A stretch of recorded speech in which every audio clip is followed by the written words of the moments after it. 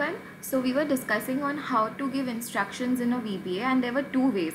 First was to write the codes uh, in the VB editor which is Visual Basic Editor and second is to record a macro, simple macro using the record feature in the developer tab.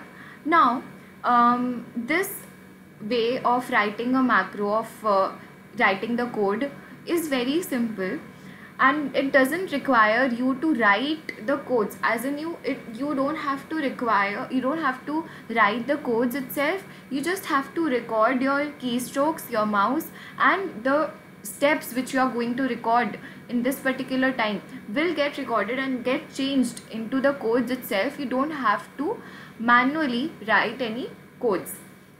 Now secondly perform functions in excel codes will be created and stored automatically using the record macro feature.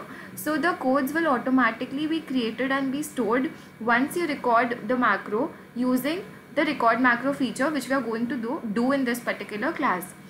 But there is a disadvantage of uh, writing an instruction of performing an instruction using this particular record macro feature is that you cannot create the customized features. Now what is customized features as in uh, as you are not supposed to write the code codes as such in this particular record macro feature.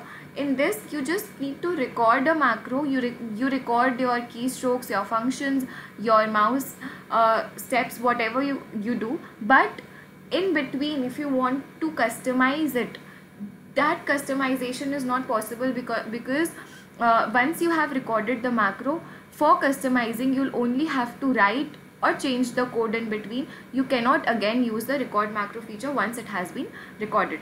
Now secondly record macro and stop recording are the features which you see in the developer tab.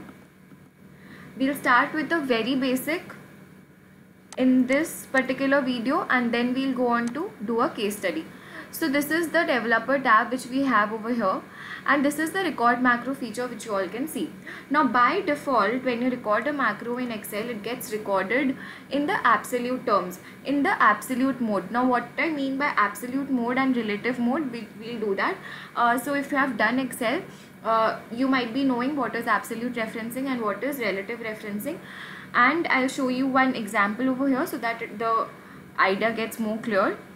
And um, so just start starting with the basic record macro feature. Now suppose just go to the developer tab.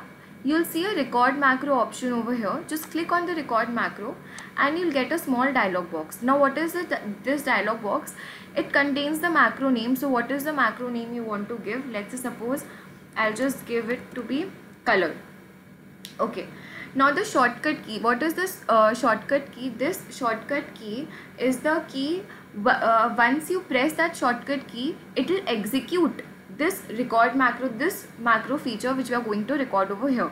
So it's not necessary. This feature is not necessary. This uh, shortcut key writing of a shortcut key is not mandatory. So this is temporary. Even macro name changing the macro name is temporary. It's uh, it's up to you if you want to do it. It's not uh, compulsory for you all. Okay so just shortcut key it's up to you. See now there are two ways to use the shortcut key. First of all if suppose i'm just writing over here q.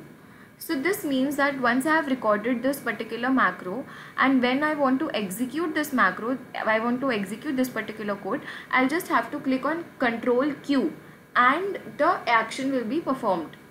Otherwise, if you want a capital Q, a capital Q you will do that using control shift plus Q. So I am pressing shift plus Q. Again I am repeating I am pressing shift plus Q. So so that you can see it has changed to control plus shift plus Q. So my shortcut key for this particular macro has now become control shift Q. So it it's up to you.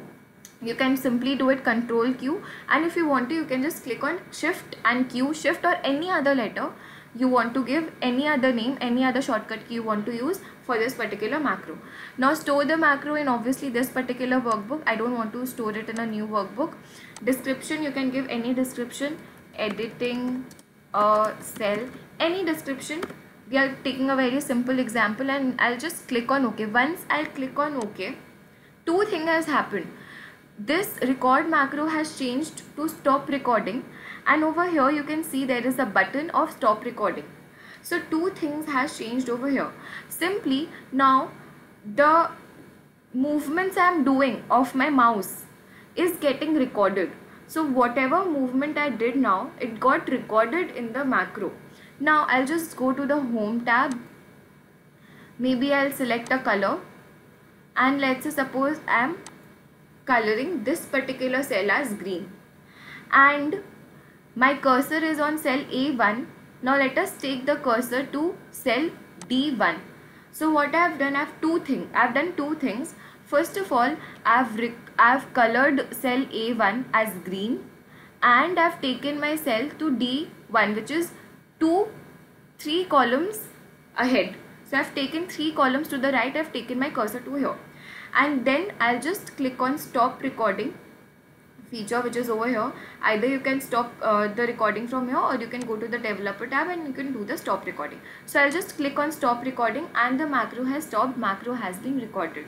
Now how to execute this particular macro? There are two ways to execute. First of all I can go to the macro section. In the macro section you will see whatever macros you have recorded you'll get the entire list of all the macros. So this is one of the macro which, which I recorded currently I'll just click on this and I'll click on run. The moment you click on run see what happens? My cell my active cell was this. I had placed my cursor over here. If I want to I'll show you uh, show this again. I have placed my cursor on G4 just look at this particular feature very nicely. I have placed my cursor on G4 so I'll click on macros color run and see what happens. This particular this was the active cell the moment I executed the macro. So this active cell of mine this got changed into green and then my cursor returned back to D1 now why it has got returned to the T, to cell D1 if suppose I wanted if suppose I wanted to uh, move the cursor to G4 J4 from instead of going to D1 back I wanted to go to J4 basically I wanted to move 2 3 columns right. I wanted to go 3 columns right. Instead of that it has gone to D1 why this is happening? This is happening because of the absolute referencing feature. As I told by default the macros get recorded in the absolute mode mode. So once you record a particular macro it gets recorded in the absolute terms. So anywhere you are suppose I'll just and the second way of how to execute the macro was control shift Q. Control shift Q. So I pressed control shift Q and see what happens. My cursor again goes back to the D1 and my active cell is now green green and the uh, cursor goes back to the cell D1 this is happening by because of the absolute mode. Now if I want the cell to not go to the D, D1 cell, to cursor not go to the D1 cell. Instead of that, I just wanted to stay, uh, to move three columns right, that is go to the H9 cell.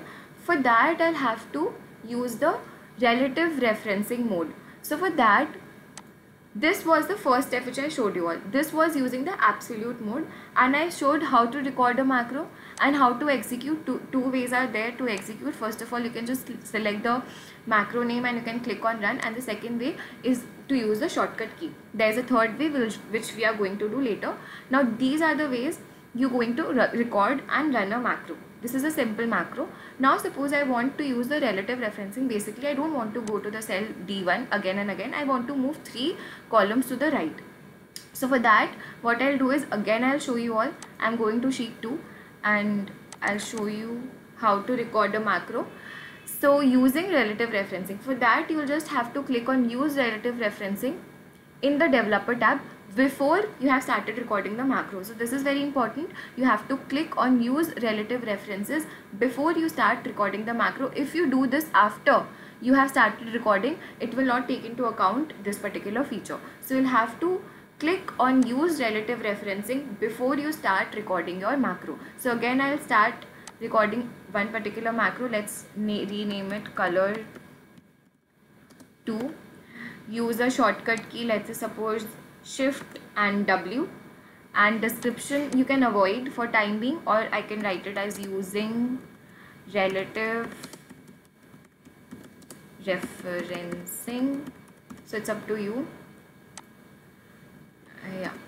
And I'll click OK. So once I click OK okay so yeah again I get this error. Why? Because you can't use space in your macro name you can't use a space in your macro name so I'll just use an underscore. You can't use space in your macro name neither while recording a macro neither when we are going to nor when we are going to do the VB editor. In that time also you at that time also you can't use the space. You can't use spaces while writing the name of the macro or the code. So that's there. Okay I'll just click on OK I'll go to and see it has changed to stop recording option. And let's say suppose I'll color it green. So this I have done. And I'll take my cursor to two columns right which is at D1 so this is how I've done in the previous macro also. Instead here the only change was I used the relative referencing feature. And again I'll click on stop recording. Once I do that the macro has been recorded.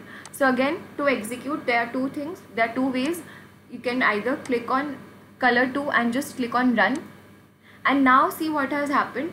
My active cell which was E5 got uh, this is now changed to green. The cell color has now changed to green. And my cursor has moved to three columns right which is at h5 instead of returning back to d1 it is now moving right to h5 so this is how you record using a relative uh, referencing feature. You can again untick this particular thing. And again for executing I'll click I'll show you all using the shortcut key which is control shift W.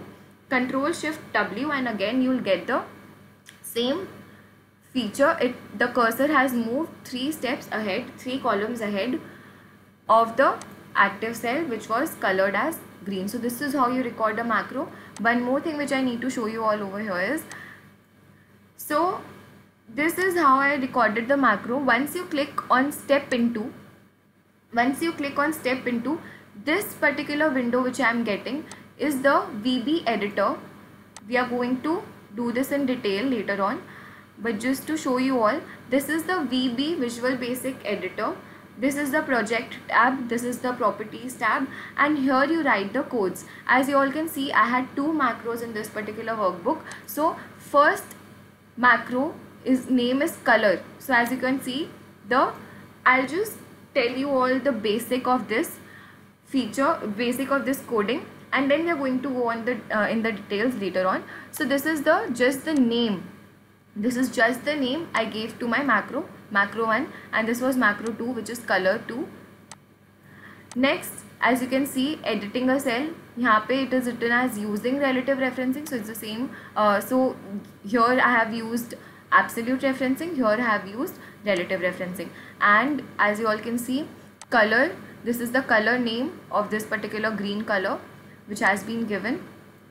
And uh, so uh, end with the active cell which you want to end with is here you can see it is range D1 this means that wherever wherever the active cell is wherever your active cell is while recording while executing a macro. So when i was executing the macro i was clicking on this particular cell and i was when i was executing the macro by let's suppose clicking control shift q. So what was happening? I'll just show you all. So what was happening? My cursor was the cell turned green and my cursor was returning back to cell D1. This is because I was using absolute referencing and you all can see over here. End with end with yani ki when the macro ends when the action ends your cursor will return back to D1 wherever no matter wherever it is it will return back to D1 of that particular sheet. Whereas over here you can see if you all remember the offset function which we used the active cell will return to the three columns right as you all can see which is 0 0 meaning I don't want to go any number of rows down and I want to go three columns to the right. So this is how you record a macro and this is the coding which you are going to learn later on. Basically this was the easiest way. The, uh, I'll just click on OK. This was the easiest way on how to record a macro in Excel without even writing the code. So this was the simplest example I gave you all about using relative referencing. You can see the slide again. Using relative referencing here the active cell becomes the last non-empty cell and so the subsequent steps will be performed from this cell onwards. This means no matter where your cell this means that if I start my action from here, if I start recording, if I start executing my macro from here, this will be the cell. This will be the cell from where the action will start and I will end up to the place where I wanted to when I recorded the macro, which is three columns ahead. So this is how you use the relative referencing feature and which is very important. Generally, we always use relative referencing we learnt about how to give the macro name never use a space. Shortcuts you can use shortcuts. It's not it's not compulsory but you can. And the description which is also not compulsory you can give the description about the macro or you don't. So this is how you record a macro in VBA without even writing the codes. It's very simple. And in next class we are going to do a case study on the record macro feature